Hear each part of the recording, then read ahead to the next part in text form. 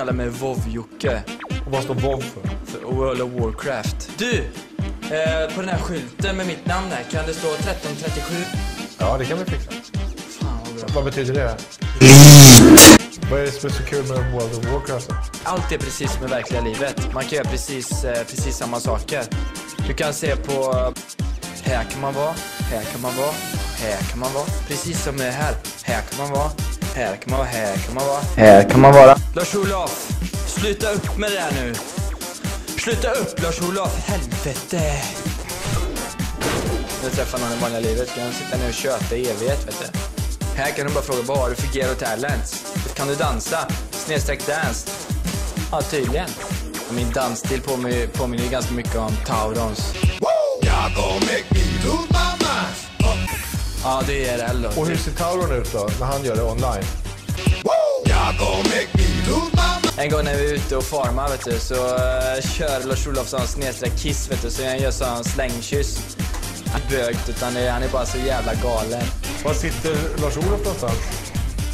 IRL? Ja. Han är hemma. Watch out. Råtta klockan. Jag kan inte se upp det. Håll käften! Han tror vi ska se upp.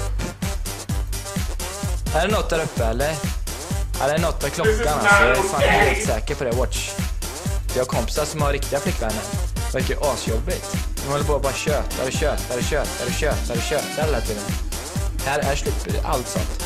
På min svensexa så bara hela gilden samlats runt mig, står i en ring IRL eller? Online, Online. och kör sån snedstreck dance, snedstreck dance, snedstreck dance. De bara står och dansar vet du, så jag står i mitten. Sen drack vi öl på spelet vet du, så hela jävla skärmen bara svajar i tre, tre minuter. Helvete Lars-Olof! Vet du vad du är Lars-Olof? Du är ninja! Åh, klockan är 13.37.